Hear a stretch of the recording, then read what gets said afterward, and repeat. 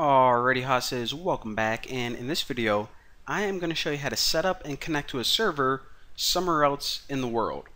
So if you ever want to host a website and you want to buy a server online and connect to it then you need to follow along because this is how you do it.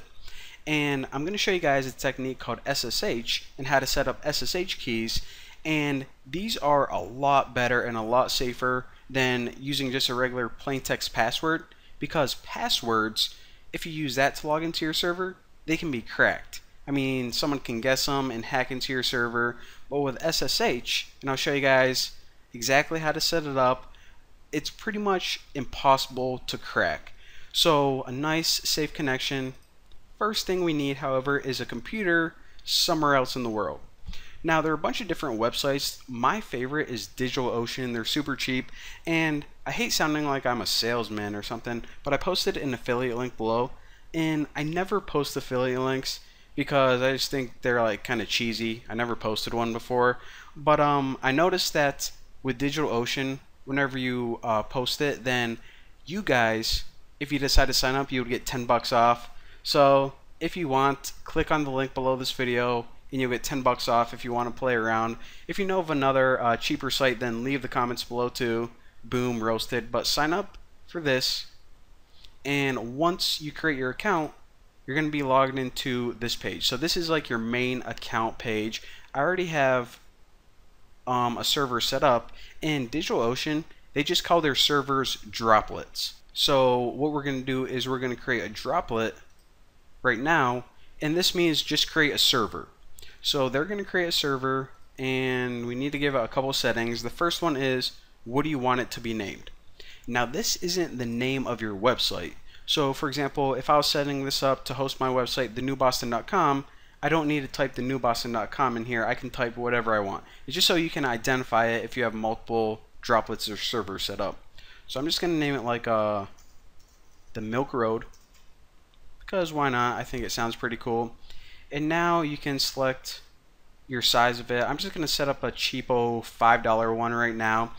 If you're actually hosting a website, then you would probably want to go with either 20 or 40 because on an actual server you're going to be running 64-bit uh, processes and they take up a little bit more memory. So for this example, you know, I don't want to splooge, so I'm just going to test it out. And now it's saying, where do you want us to set up your server? So they have a bunch of different locations all around the world. I am just going to use New York because I live in New York and it'll give me the fastest connection. Now since we can't actually fly over and start installing our own software, I mean that's kind of the point. Whenever we scroll down here, we're going to see select image. This just means what software do you want us to install on your server by default. So a lot of the time when I do it manually, I like to just install plain old Ubuntu with nothing else, and I installed Linux, Apache, MySQL, and PHP myself. However, like I said, this tutorial we're just learning the basics, so I'm going to click Applications and click LAMP on 14.04. This means whenever they set up my server, it's already going to come with Linux, Apache, MySQL, PHP already installed on Ubuntu 14.04 and uh, you know it's kind of the lazy way of doing it but whatever Alright, so scroll down here, and since we didn't even learn about SSH keys yet, we won't add any of those and hit create droplet.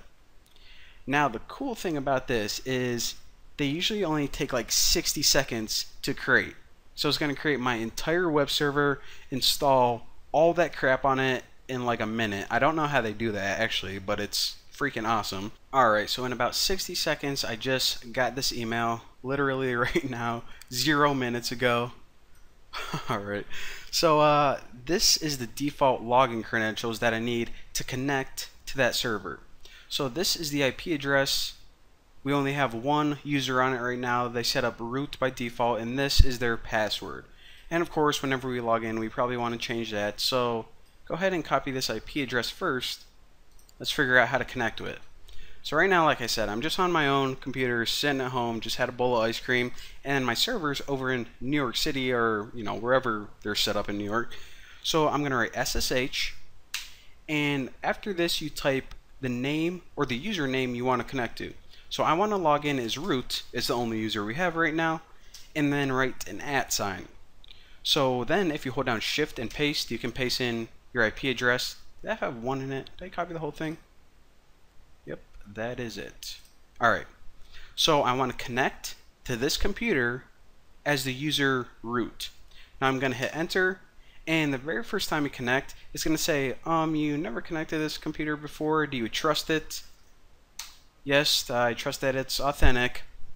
And of course it's going to ask you for root's password to make sure that you are authorized to log in.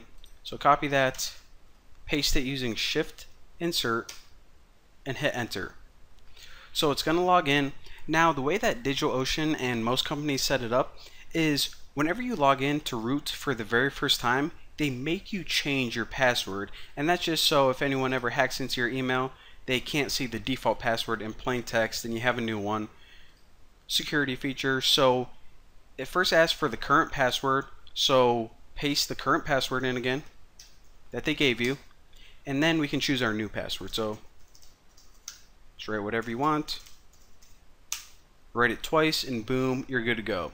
So now we are connected and check this out so if I just write like um ls or write pwd um you know let me do the cd dot dot ls look at this so all of these files they're not on my own computer this is actually the server in New York City that we're connected to and if we ever close out and log back in again then we can log in using our new password pretty sweet so that's the basics of how to set up a server and connect to it somewhere else in the world.